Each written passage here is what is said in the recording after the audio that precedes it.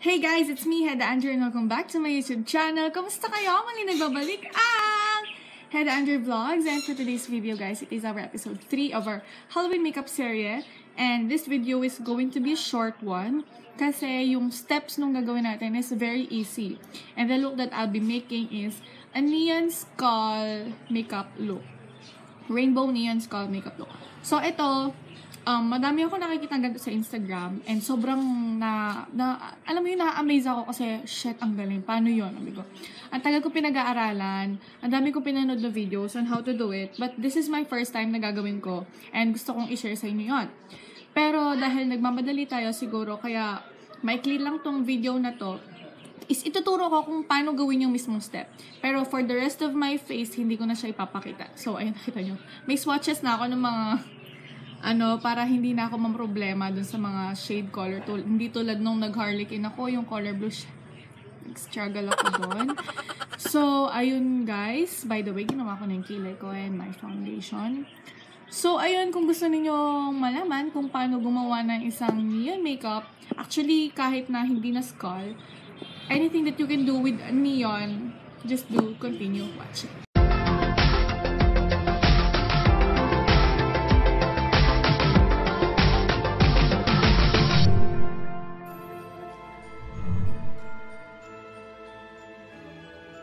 So, ayun guys, ginawa ko lang off-cam is um, nag-smoke ako ng, eye, ng black eyeshadow sa aking lids. And then, um, pinag-aralan ko muna kung paano gawin yung dito sa may aking right side. So, as you can see, ayan. From pink, red, orange, yellow, green, blue, and violet. Tinlagyan ko siya. Tuturo ko sa inyo kung paano ko ginawa ito. Medyo parang maniyon-niyon na siya sa aking paningin. Kaya, Ayan, tuturo ko kung paano siya ginawa. So, una is kumuha ako ng eyeliner brush. And then, ididip ko siya sa concealer or sa foundation, pwede. And, ilaline lang natin yung parang pinaka-base ng ganun niya.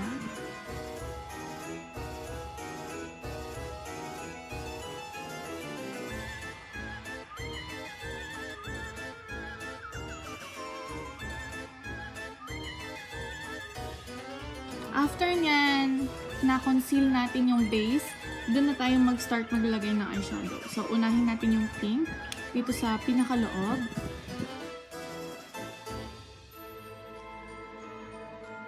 After the pink one is red. By the way guys, pag ganito gumamit kayo ng different brushes for different colors para hindi nagkahalo yung color.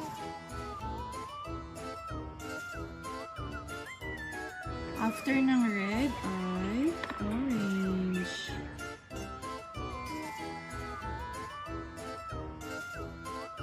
And yellow.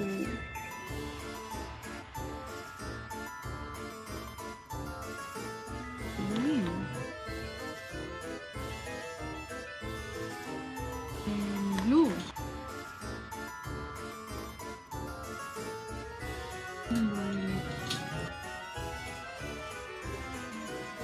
Yung key para magmukha siyang neon is kukuha tayo ng um, it's, kung meron kayong white eyeliner, liquid eyeliner, it's better. Pero uh, what I'm using right now is a um, face paint, water-based face paint in color white na may matte finish. So, pwede siyang substitute for white eyeliners.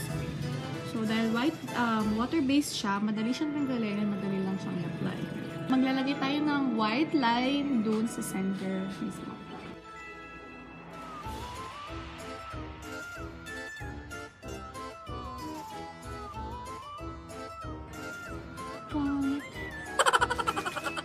So, yung ginawa ko lang guys off-cam is in-outline ko na yung parang magiging base nung ating skull para meron na akong guide. And using a black face paint, umpisahan nating um, kulayan yung negative parts ng mukha, yung mga black parts.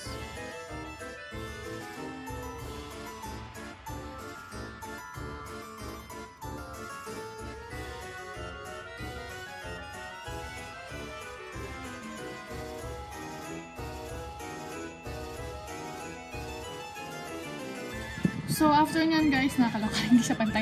Pero anyway, magsa-start na ako sa may bandang um, lips ko. So, dun ko muna umpisahan. So, same step lang tulad sa eyeshadow. Concealer and then eyeshadow. Tapos yung mga highlights and mga dark areas.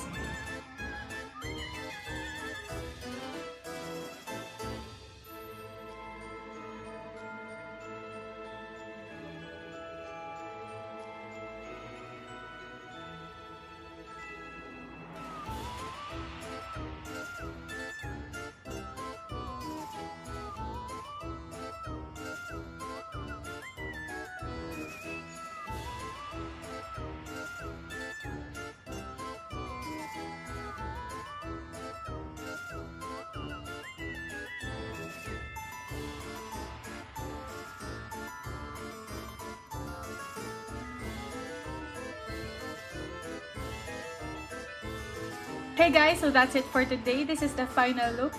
I hope you enjoyed watching the video and kung hindi ka pa nakapag-subscribe sa channel ko, go hit that subscribe button and also the bell button right beside it para ma-notify ka every time na mag-upload ako ng bagong video. And follow nyo na din ako sa mga social media sites ko. I'll link them down below sa description box. So, ayun. Gusto ko mag-apologize kung ganun yung setup ng video natin. Kung medyo nagmamadali.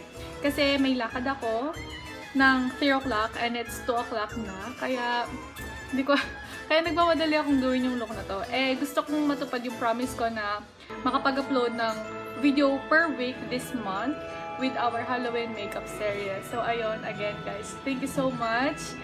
I love you guys.